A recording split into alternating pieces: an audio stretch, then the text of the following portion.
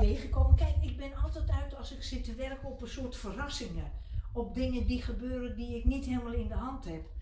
En toen merkte ik dat als ik zo'n uitgezaagde vorm, los van het schilderij, eh, ging inspuiten, inkleuren, tekenen. En hem dan eh, in een bestaand schilderijtje legde, dan had ik zo'n aangename verrassing zo van, nou kijk nou hier is, eh, dit- dit had ik niet kunnen verzinnen, dit is min of meer toevallig bij elkaar gekomen. Dat is bij deze ook zo. En dan ineens match je de kleuren heel goed.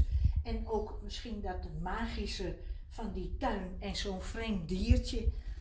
Dus toen dacht ik, nou nu, eh, nu ga ik een, eh een figuurzaagmachine. En inmiddels heb ik een tas vol dieren. En sommige dieren gaan nu ook een eigen leven leiden. Die willen helemaal niet meer in een schilderij geplakt worden. En gewoon los aan de muur.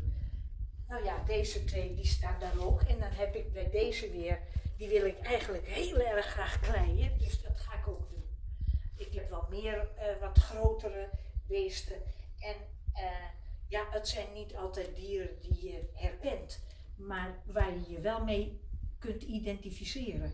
En eh, dat is voor mij eigenlijk heel erg belangrijk. Omdat we wel verrassend veel op dieren lijken. En dieren op ons.